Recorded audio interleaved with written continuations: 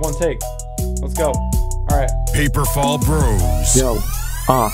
Let's pretend for a second that 2020 never happened and we slept in our beds without guessing what's gonna happen next. Man, man, that would be so relaxing, easily catching Z's.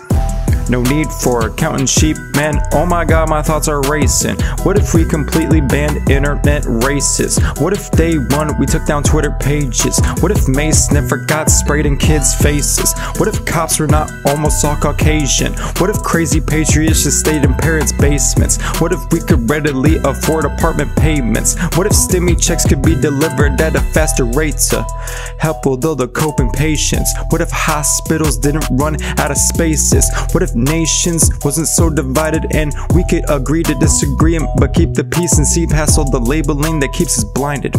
What if food could be put on tables without waiting for the government to paper sign it? And what if we could start focusing on the climate?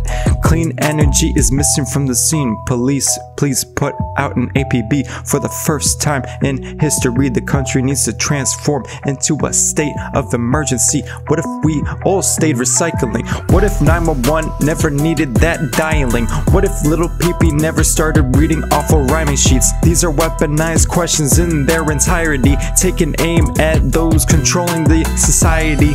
And I don't want notoriety, but I don't see how a human being is supposed to spit this shit piously. And for those ignoring these subjects, I bet you get plenty sleep.